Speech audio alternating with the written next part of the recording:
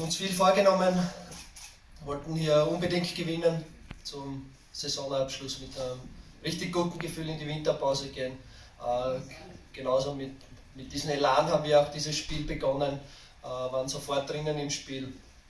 Ähm, wie es mein Trainerkollege auch sagt, äh, sehr, sehr gute Kontersituationen vorgefunden, haben das 1 zu 0 gemacht, aber mit der ersten Halbzeit wirklich zufrieden. Ähm, zweite Halbzeit auch. Mit der ersten Hälfte der zweiten Halbzeit, denke ich, waren wir auch noch, noch gut im Spiel. Ähm, die eine oder andere Situation, wo, wo Moni oder äh, Patrick Wimmer dann zum Abschluss kommen, müssen wir das 2 zu 0 machen. Ähm, zum Schluss hin dann mit dem Ausgleich war dann WRC drückend und ja, am Ende, am Ende kommt ein leistungsgerechtes Unentschieden raus. Gleich ich auch sagen muss, dass wir diese Situation beim Tor von Mike Madl, denke ich wiederum, wie schon so oft in dieser Herbstsaison, äh, nicht vom Schiedsrichter glücklich verfolgt werden.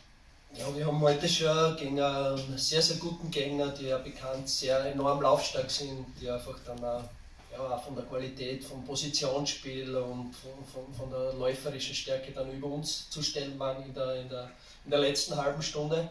Trotzdem in über 60 Minuten haben wir das sehr gut gemacht. Und, ja, in dieser Phase müssen wir das 2 zu 0 machen. Die Chancen waren da und das, das wäre sicher der Schlüssel zum, zum Sieg heute gewesen überhaupt keine Nervosität bei ihm gemerkt. Hat einfach mit seiner, mit seiner Schnelligkeit haben wir vor allem mit, mit Mani Zakaria, Fizzi und, und Wimmer vor allem in der ersten Halbzeit den WRC schon vor großen Problemen gestellt, die sich dann einfach auch immer diese, diese Konterattacken nur mit Foul stoppen konnten. Da ist halt schade, dass wir dann zweite Halbzeit nicht nachsetzen konnten. Und, ja, aber er hat sein Debüt richtig gut gemacht. Vielleicht hat das Tor gefehlt. Da hat er eineinhalb gute Möglichkeiten gehabt in der zweiten Halbzeit. Wenn wir beim Rechnen sind, rechnerisch ist es noch möglich, aber definitiv brauchen wir in diesen ausstehenden vier Spielen jetzt ein Wunder, aber an das glauben wir.